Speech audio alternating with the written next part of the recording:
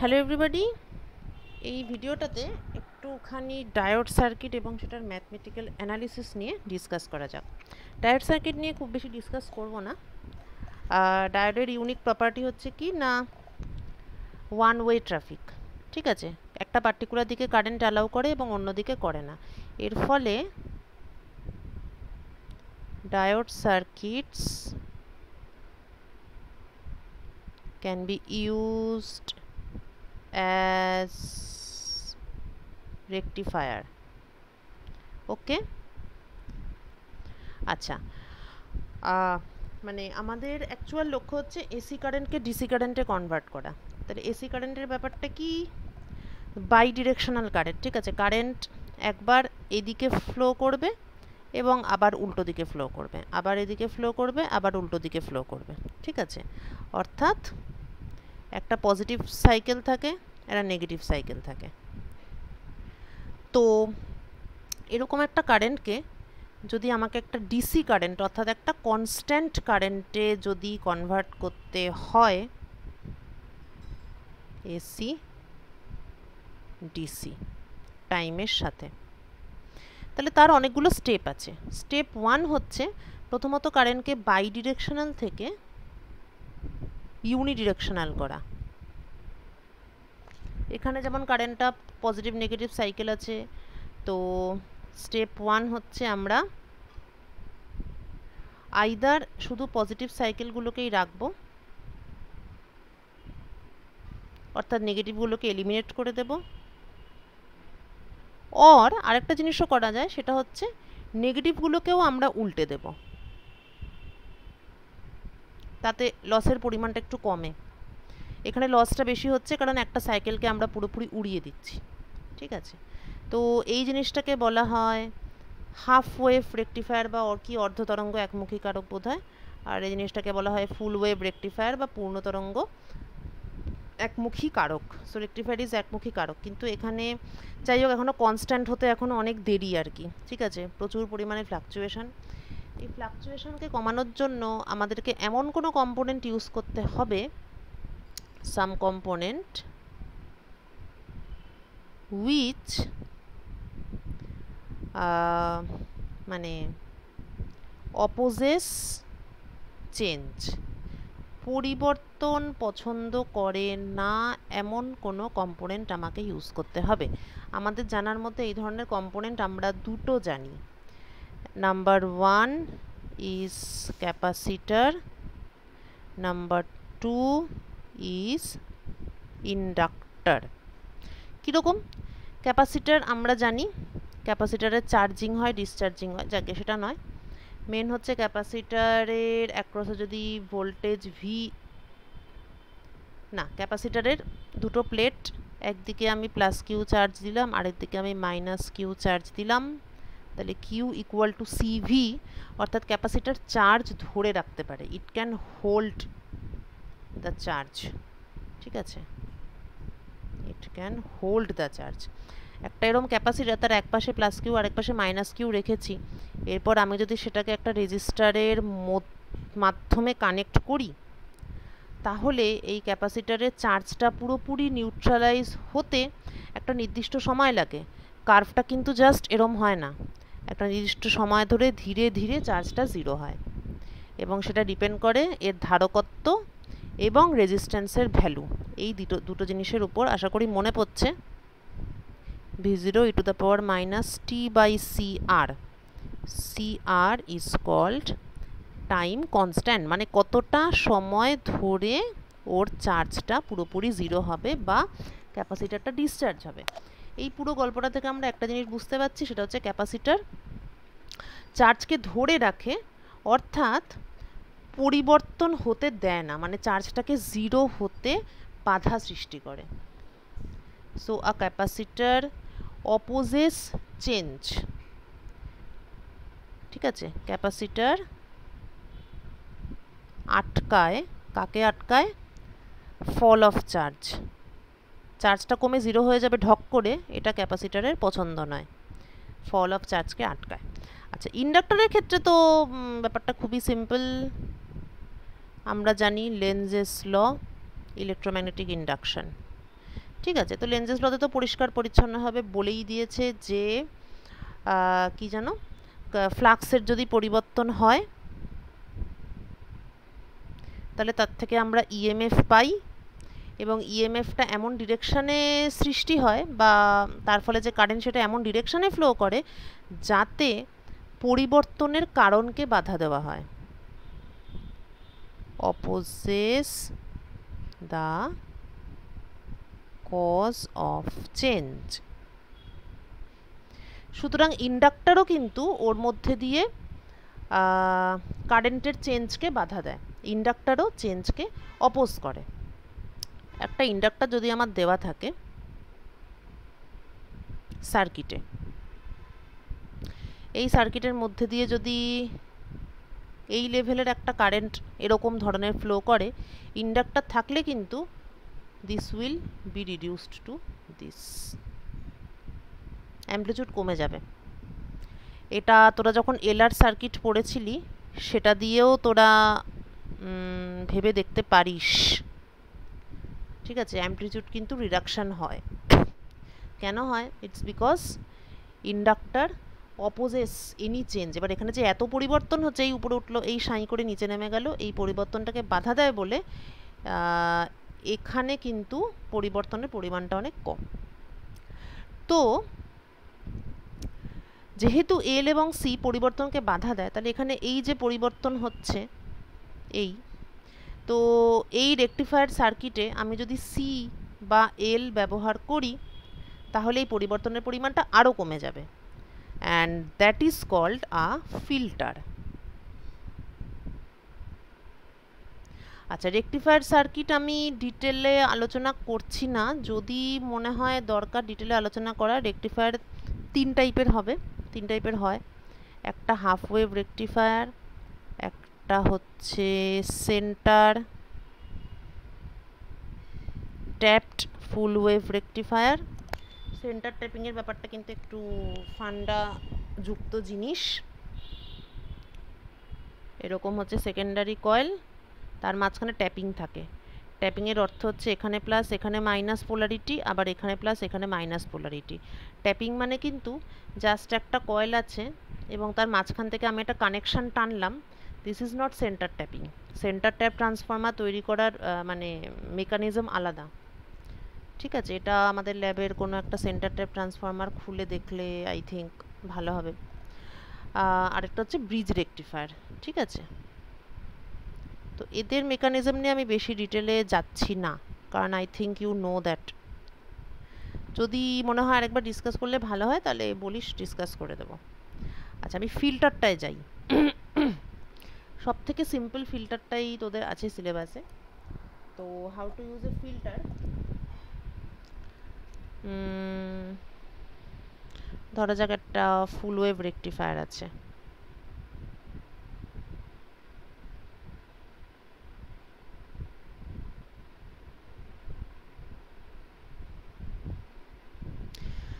Center tapped okay?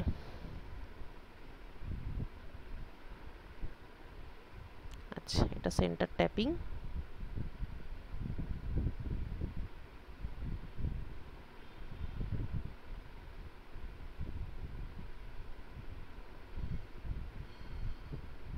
এই ঠিক আছে? এটা হচ্ছে rectifier circuit full wave rectifier তার মানে এখন এই আরএল এর অ্যাক্রসে আমি যা ভোল্টেজ পাচ্ছি সেটা হচ্ছে এই। কিন্তু আমি এতটা ভেরিয়েশন চাইছি না, তাই আমি কি করব? আচ্ছা এটা তো লোড ভোল্টেজ ঠিক আছে দিস ইজ লোড ভোল্টেজ আমি চাইছি ভোল্টেজটা তো তাড়াতাড়ি যেন ফল না করে। ওকে। তাই আমি কি করলাম? আমি এই আরএলের অ্যাক্রসে লাগিয়ে দিলাম একটা capacitor as a result capacitor voltage becomes equal to the load voltage এর ফলস্বরূপ কি হচ্ছে? এবার ছবিটা বড় করে আঁকার দরকার পড়েছে।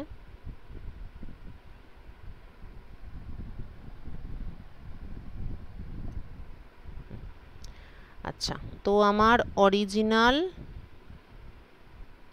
মানে যখন ক্যাপাসিটার ছিল না, তখন ব্যাপারটা এরকম ছিল। যেই ক্যাপাসিটার এলো ন্যাচারালি ক্যাপাসিটার আর এল এর অ্যাক্রসে আছে so VC is equal to VL তাহলে ক্যাপাসিটার এখন চার্জ হবে ভিএল দ্বারা ওকে আচ্ছা একদম জিরো থেকেই যদি শুরু করি, তাহলে ক্যাপাসিটার চার্জ হচ্ছে হচ্ছে টপে পৌঁছে গেল। এইবার লোড ভোল্টেজের ভ্যালু ড্রপ করছে। ক্যাপাসিটারের ভ্যালু কি এটা অনুযায়ী ড্রপ করবে? তা কিন্তু করবে না। ক্যাপাসিটার চার্জ হচ্ছে লোড ভোল্টেজ অনুযায়ী ঠিকই, কিন্তু চার্জের ভ্যালু বাড়ছে লোড ভোল্টেজ অনুযায়ী। কিন্তু ক্যাপাসিটার লোড ভোল্টেজ অনুযায়ী, ক্যাপাসিটারের ভোল্টেজ ওইভাবে কিন্তু কমবে না। কেননা কিউ ইকুয়াল টু সিভি যেহেতু চার্জ ধরে রাখে একটা ক্যাপাসিটার সুতরাং ভোল্টেজটাকেও ধরে রাখার চেষ্টা করবে। ভোল্টেজ কীভাবে কমবে? এটা তোরা জানিস? এইভাবে। তার রেট হচ্ছে V zero e to the power minus t by C R C R মানে এখানে ক্যাপাসিটারে ক্যাপাসিটেন্স সি এবং এই লোড ভোল্টেজ আর এল তার মানে ক্যাপাসিটারের ভ্যালু, ভোল্টেজের ভ্যালু উঠবে লোড ভোল্টেজ অনুযায়ী, কিন্তু নামবে সেটা অনুযায়ী নয়, ও নামবে কিন্তু নিজের মতো। এবং that rate of fall will be determined by the product CRL which is the time constant. তাহলে তুই যদি সি এবং আর এল এমনভাবে চুজ করিস যাতে টাইম কনস্ট্যান্টটা বড় হয়। তাহলে ক্যাপাসিটার অনেকক্ষণ ধরে ডিসচার্জ করবে। তাহলে এত তাড়াতাড়ি মোটেই ফল করবে না। অনেকক্ষণ ধরে ডিসচার্জ করবে। অনেকক্ষণ ধরে ডিসচার্জ করা মানে কি? স্লোলি ডিসচার্জ করা। ঠিক আছে? আচ্ছা ডিসচার্জ করতে করতে একটা পয়েন্ট আসবে। যখন লোড ভোল্টেজটার সঙ্গে ডিসচার্জ ভোল্টেজটা মানে ক্যাপাসিটার ভোল্টেজটা ইকুয়াল হয়ে যাবে এবং লোড ভোল্টেজ এরপরে বড় হয়ে যাবে। It will be larger than capacitor voltage তখন ক্যাপাসিটার আবার চার্জ হতে শুরু করবে। আবার ম্যাক্সিমামে পৌঁছে যাবে। এবার লোড ভোল্টেজ কমতে শুরু করল। ক্যাপাসিটার এখন কি করবে? আর তো চার্জের ব্যাপার নেই। এবার ডিসচার্জ হতে হবে, কিন্তু লোড ভোল্টেজকে ফলো করে হবে না। নিজের মতন চলবে। এই। আবার এই পয়েন্টে চলে এলো। আবার লোড ভোল্টেজ ক্যাপাসিটার ভোল্টেজ থেকে বড় হয়ে গেছে, সুতরাং আবারও চার্জ হতে শুরু করে দিল। তাহলে অরিজিনালি আমার ছিল। কিন্তু এখন কি হয়ে গেল? অর্থাৎ ভেরিয়েশন অনেক কমে গেল। রাইট যদিও এটাই ফাইনাল নয়, এখন এটাকে আবার একটা স্ট্রেট লাইনে পরিণত করতে, অর্থাৎ ডিসিতে পরিণত করতে আমাদেরকে জেনার ডায়োড সমেত কি বলে রেগুলেটেড পাওয়ার সাপ্লাইয়ের একটা বড় সড়ো সার্কিট আছে। জেনার ডায়োড তার মানে এটা প্রচণ্ড ইম্পর্টেন্ট কম্পোনেন্ট ইনডিসপেন্সেবল কম্পোনেন্ট কিন্তু তার সঙ্গে আরও থাকে ট্রানজিস্টার লাগে, আরও বিভিন্ন মেকানিজম আছে। সেটা এখন নয়, সেটা ভবিষ্যতের জন্য মানে ভবিষ্যতে পড়ার জন্য। তো আপাতত this is how a capacitor filter works তাহলে ক্যাপাসিটার ফিল্টারের working mechanism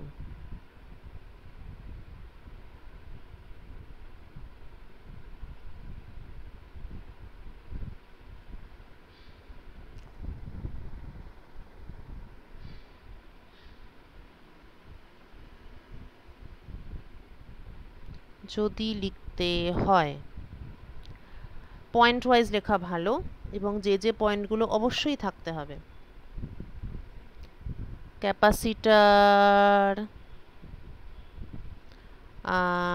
tries to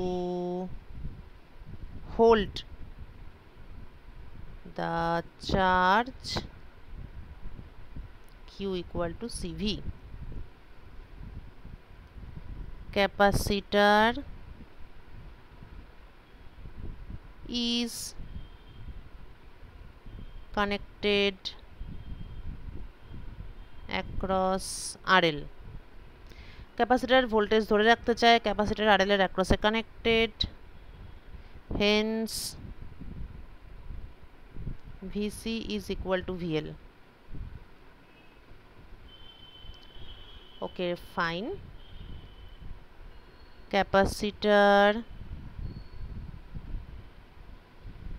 is charged by VL up to peak value but discharges according to time constant time constant যেমন হবে, সেই অনুযায়ী ডিসচার্জ করবে। Time constant is equal to C into R L এইবার choose time constant tau much much greater than time period of the input signal, t is the time period of input signal. এই যে, আমাদের time period of the input সিগন্যালটা কতটা? এখান থেকে এতটা। তাই না? মানে ইনপুট সিগন্যাল তো এরকম করে এরকম। তারই রেকটিফিকেশন হয়ে এরম এরম হয়েছে। তাহলে এই গোটাটা টাইম পিরিয়ড আমাকে টাইম কনস্ট্যান্টটা নিশ্চয়ই এর থেকে অনেক বড় করতে হবে। না হলে তো হবে না, ছোট হলে তো ভেতর দিয়ে চলে যাবে ভেরিয়েশন বেড়ে যাবে, বাইরে দিয়ে যাওয়াতে হবে। তাহলে ডিসচার্জ কার্ভটা অনেক লম্বা অনেক লম্বা হতে হবে, অর্থাৎ টাইম কনস্ট্যান্টটাকেই অনেক বড় হতে হবে compare to the time period of the input signal ঠিক আছে? Okay hence uh, discharge. Curve reduces.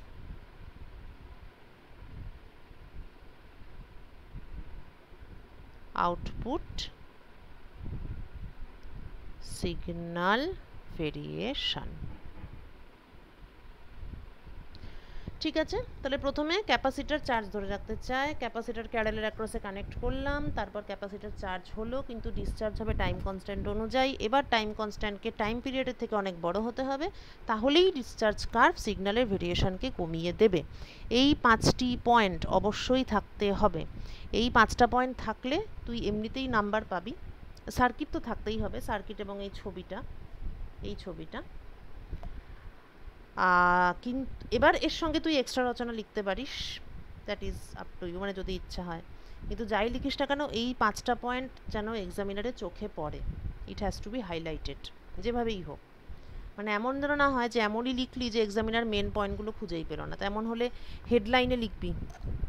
ঠিক আছে? এইটা কিন্তু মাস্ট এটাই কিন্তু আসল ক্রাইটেরিয়া এইটা না হলে কিন্তু হবে না। কেমন? আচ্ছা এই তো গেল জিনিসপত্র। এইবার হচ্ছে হাউ টু কোয়ান্টিফাই মানে যা আমরা স্টাডি করছি, এবার কেমন, কোনটাকে কেমন চুজ করা উচিত বা কিসের ফলে কি মানে এই যে আমি মুখে মুখে বলে দিলাম ভেরিয়েশন কমে গেল, এই হলো, ওই হলো। এদের তো কিছু প্যারামিটার থাকবে, যেটা দিয়ে আমি বিভিন্ন ডিভাইসের মধ্যে বা বিভিন্ন সার্কিটের মধ্যে কম্পেয়ার করতে পারি। So what are those parameters এইবারেই আসছে ম্যাথমেটিক্যাল অ্যানালিসিসের প্রশ্ন। আগে প্যারামিটারগুলো কি কি, সেটা দেখি। প্রথমত অবশ্যই একটা আই ডিসি বা ভিডিসি আচ্ছা এরপর হচ্ছে ripple factor something called ripple factor আচ্ছা তারপরে something called rectification efficiency, after that regulation তো তোদের নেই টিইউএফ নেই, ব্যাস, শেষ, ভালো কথা, এইগুলোই। আচ্ছা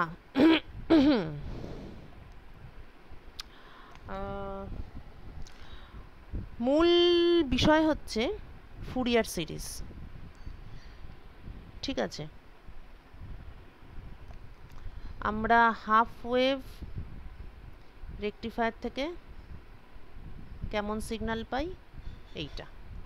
এটা জিরো, এটা হাফ টাইম পিরিয়ড, এটা ফুল টাইম পিরিয়ড।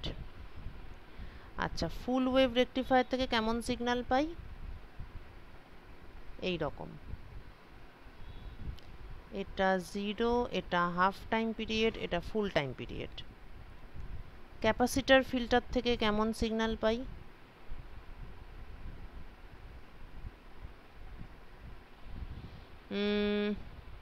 একটু অ্যাপ্রক্সিমেশন যদি করে নিই এরকম। ব্যাপারটা তো এরকম হয়।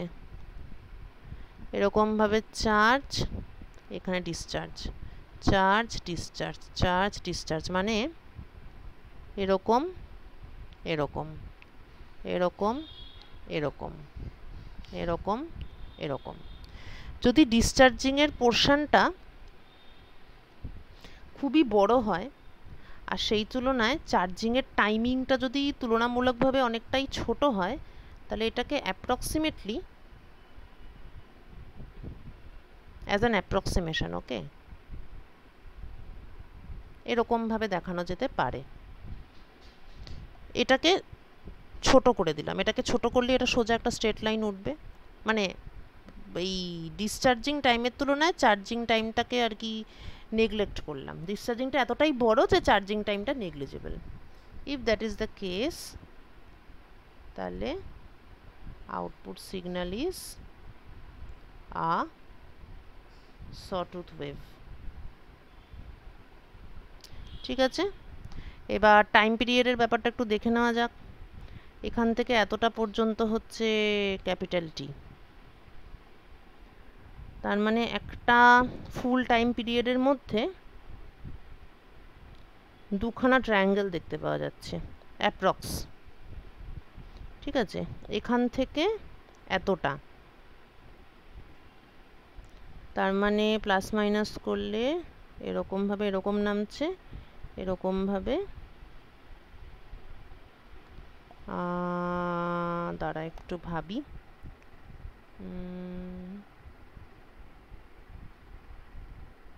হ্যাঁ দুখানা ট্রায়াঙ্গেলই হচ্ছে। যদি তুই এই পোর্শনটা নেগলেক্ট করিস মানে সরি এই পোর্শনটা যদি আমি বাদ দিই, এখান থেকে যদি আমি স্টার্ট করি জিনিসটাকে, তাহলে আচ্ছা দাঁড়া, একটু ভালো করে এঁকে নিই এটা। এই, ঠিক আছে? এটা একটা সাইকেল এটা আরেকটা সাইকেল এটা তার পরেরটা। তাহলে চার্জ হলো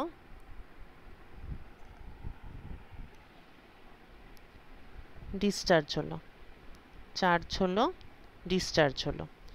এবার পিক টু পিক যদি করি টাইম পিরিয়ড তাহলে এখান থেকে এত তাহলে তোর এখান থেকে এতটা পর্যন্ত হচ্ছে আমার টাইম পিরিয়ড ঠিক আছে? কারণ এটা তো ফুল ওয়েভ রেকটিফায়ার তাহলে দুটো গোল গোল নিয়ে আমার একটা টোটাল টাইম পিরিয়ড হবে। তাহলে সেটা যদি আমি দেখি, তাহলে এখান থেকে একটা ট্রায়াঙ্গেল এবং তারপর এরকম করে আর একটা ট্রায়াঙ্গেল তারপরে আবার এরকম করে উঠে পরেরটা। তার মানে অ্যাপ্রক্স দুখানা ট্রায়াঙ্গেল নিয়ে একটা টাইম পিরিয়ড হচ্ছে। ঠিক আছে? So zero T by two T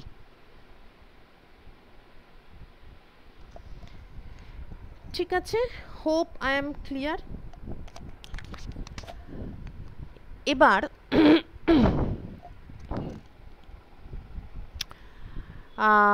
বিষয় হচ্ছে এখানে আবার একটা ছোট বিষয় যে এই সার্কিটে আমরা ডায়োডের ফরওয়ার্ড রেজিস্ট্যান্সকে ধরবো কি ধরবো না?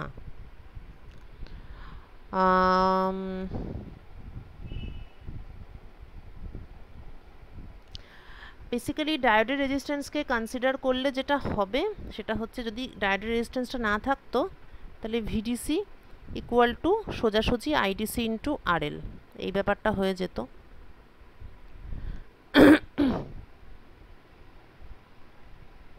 কিন্তু যদি আরএফটাকে আমরা কনসিডার করি, তাহলে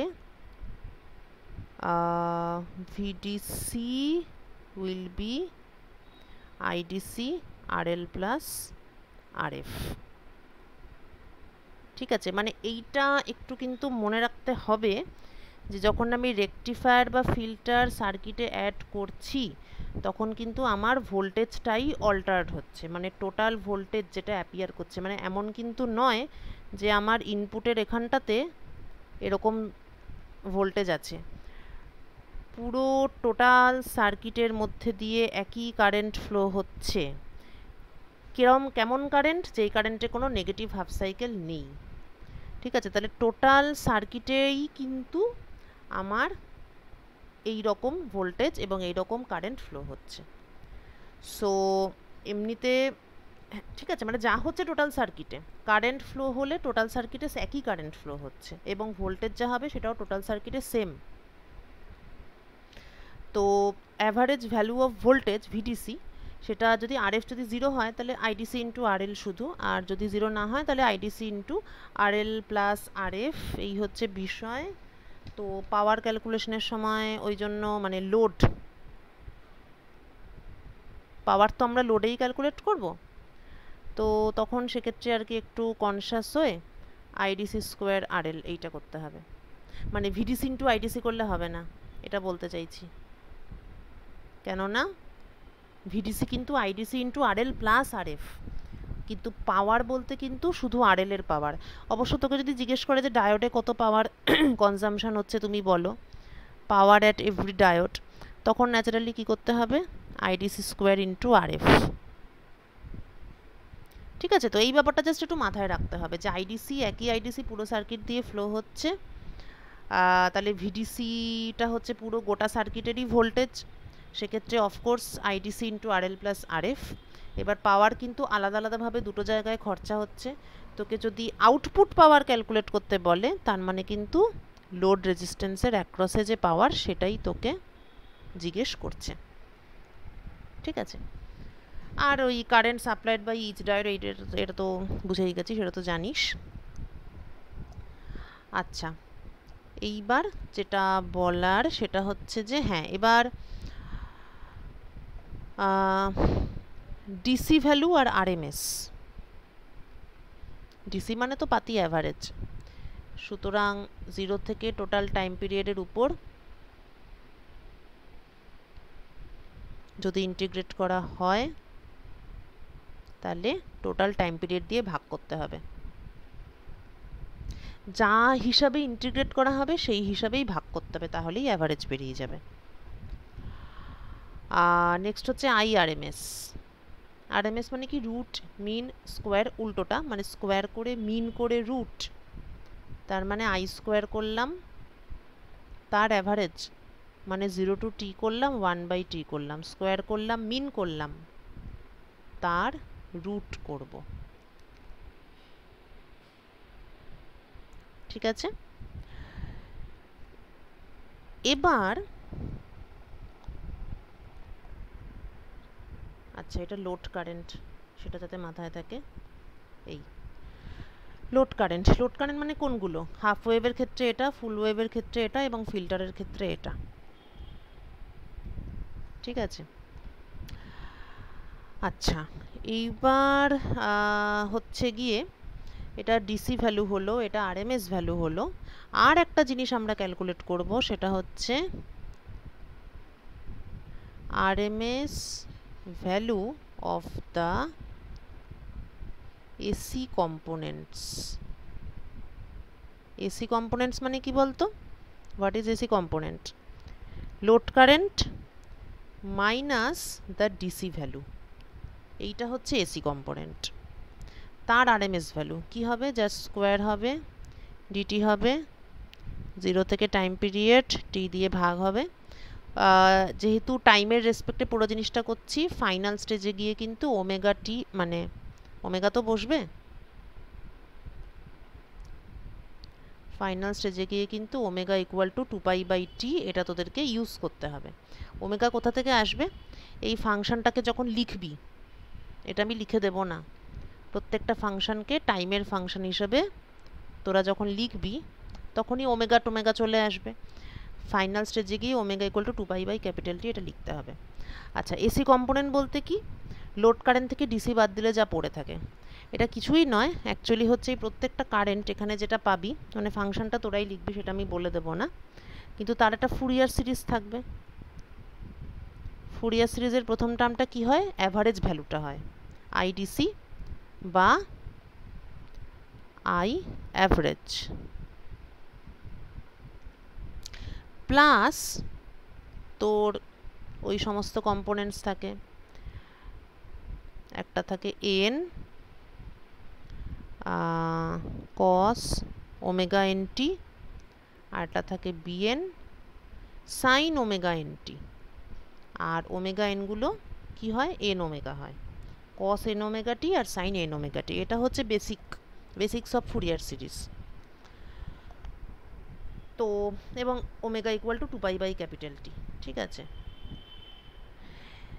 তাহলে, এটা ডিসি কম্পোনেন্ট আর এরা হচ্ছে এসি কম্পোনেন্ট বুঝেছিস? তার আরএমএস ভ্যালু এই জিনিসটাকে আমি আইআরএমএস ড্যাশ বলছি।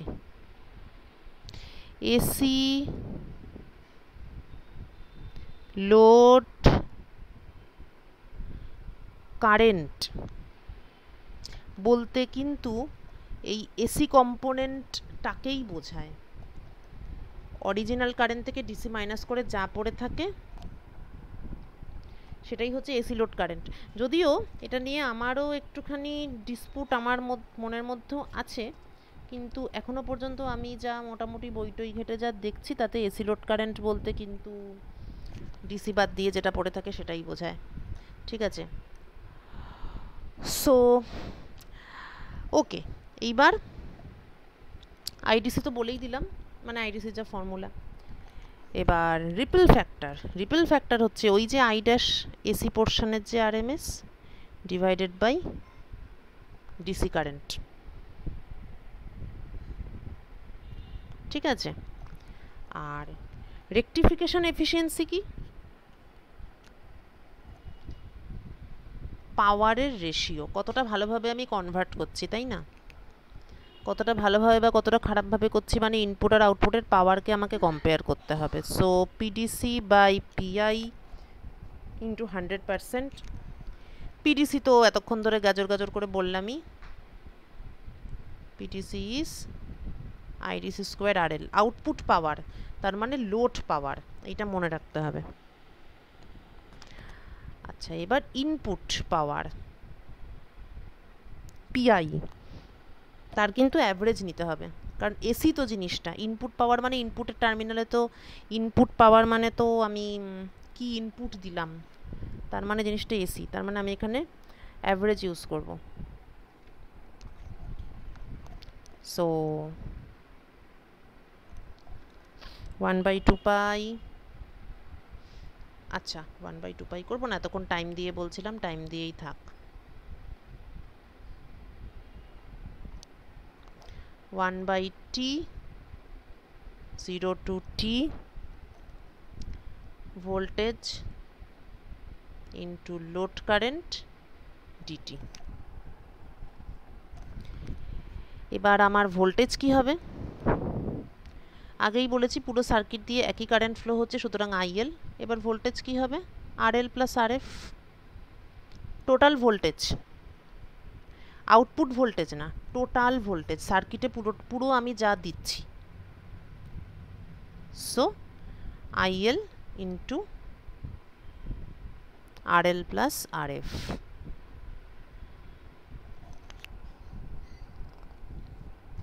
ঠিক আছে? এইবার এই সমস্ত জিনিসপত্রকে বসিয়ে বাকি ক্যালকুলেশান নিজেদের। ঠিক আছে? আচ্ছা এবার একটু দেখিনি যে কিছু কোথাও কিছু মিসটিস করলাম কি না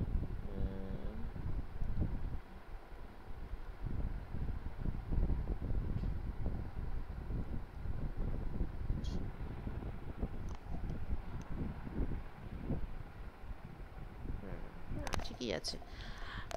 সার্কিট ওয়াইজ দেখতে গেলে এই আর কি। এটা হচ্ছে পিডিসি এখানে কতটা পাওয়ার আর ইনপুটে কতটা পাওয়ার ঠিক আছে? এই হচ্ছে গল্প। ওকে সো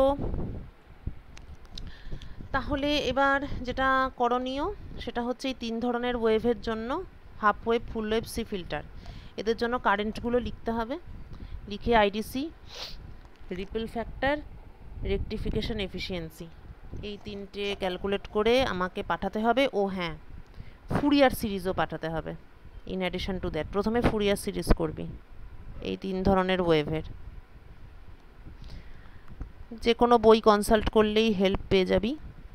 বইতে করাই থাকে। অবশ্য জানি না ফুরিয়ার সিরিজ দিয়ে ব্যাপারটা ওভাবে করে ব্যাপারটা থাকবে কি না ফুরিয়ার সিরিজটা করতেই হবে এমন নয়, কিন্তু করলে পরে একটু বেটার আন্ডারস্ট্যান্ডিং পাওয়া যাবে নাথিং এলস তাহলে প্রথমে তিন ধরনের ওয়েব ফর্মের ফুরিয়ার সিরিজ করবি, তারপর তাদের অ্যাভারেজ বার করবি। মানে ফুরিয়ার সিরিজ বের করলেই তোদের অ্যাভারেজটা তো ওখানেই বেরিয়ে যাবে। প্রথম টার্মটাই হচ্ছে ফাংশনের অ্যাভারেজ ফুরিয়ার সিরিজের যে প্রথম term a zero by two that is average of any function আচ্ছা তারপর রিপেল ফ্যাক্টর বার করবি রেকটিফিকেশন এফিসিয়েন্সি বার করবি তিনটের জন্যই। করে আমাকে একটু পাঠিয়ে দিস। ঠিক আছে? কোথাও কোনো আটকালে বা ডাউট হলে বলিস। Bye bye